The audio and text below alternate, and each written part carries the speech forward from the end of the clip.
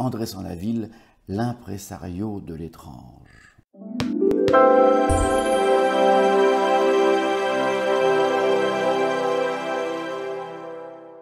Je ne sais pas si vous connaissez André Sans-Laville, mais je peux vous garantir que dans l'équipe du festival Vive la Magie, tout le monde connaît ce très grand producteur. Oui, car après la Deuxième Guerre mondiale et jusque dans les années 70-80, c'est lui qui organisait les plus grandes tournées de magie en France.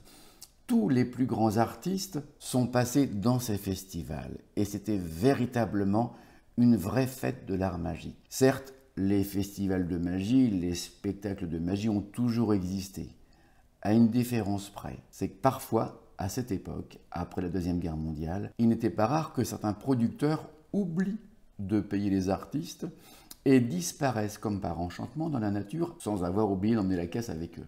Monsieur Sans-Laville, lui, a organisé pendant plus de 30 ans ses tournées, ses festivals. J'ai eu la chance de le rencontrer et de l'interviewer avec Vincent Delourmel en 2010. Et je peux vous garantir que cet homme avait la malice au coin de l'œil constamment. Cet homme avait aussi une grande qualité. Il savait dénicher les futurs grands, les artistes qui avaient du talent.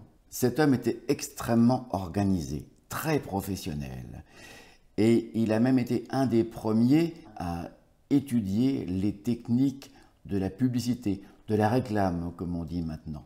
On ne parlait pas encore de communication, mais surtout d'appliquer ces principes novateurs pour l'époque.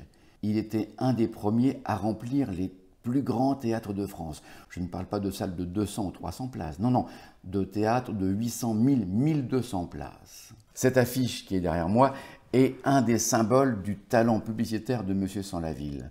Ces deux grands yeux qui vous hypnotisent directement, qui vous attirent, qui vous fascinent, ne laissent personne indifférent. Et c'est un des motifs de succès d'André Sans-Laville, la communication. Vous l'aurez compris, on ne vient jamais de nulle part. Et j'aimerais profiter de cette vidéo pour vous remercier, Monsieur Sans-Laville, de m'avoir montré le chemin.